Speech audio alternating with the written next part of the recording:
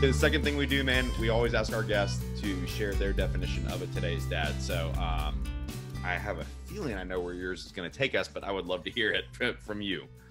Uh, it's someone who ignores their kids, does whatever they want to do. Wait, is that where you thought I was going? That's exactly uh, what I thought you were going to say. Yeah, yeah, yeah. Yeah, drinks uh, to excess and then uh, ignores their kids.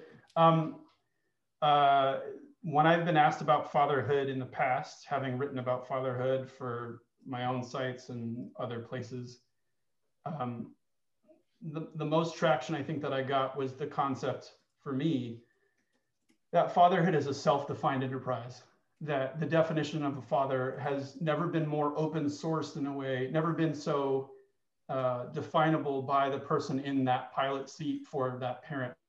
Um, i think you know I, I, I started writing about fatherhood because my father passed away before uh, before my wife got pregnant and i had so many questions for him and i had so many things i wanted to ask him and um, I needed him to help me define what that was. And he didn't do necessarily a good job.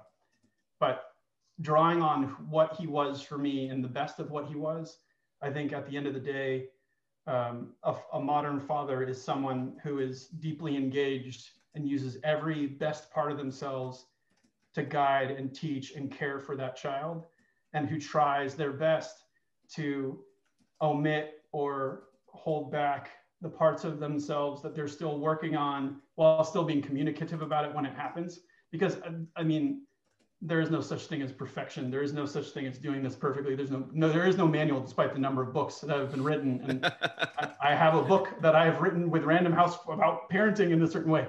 Uh, I don't think it will ever stop writing about this thing. So I think that the modern definition of a father is a self-defined human being who's deeply engaged uh, with the welfare and evolution of the person that they're trying to raise in their children.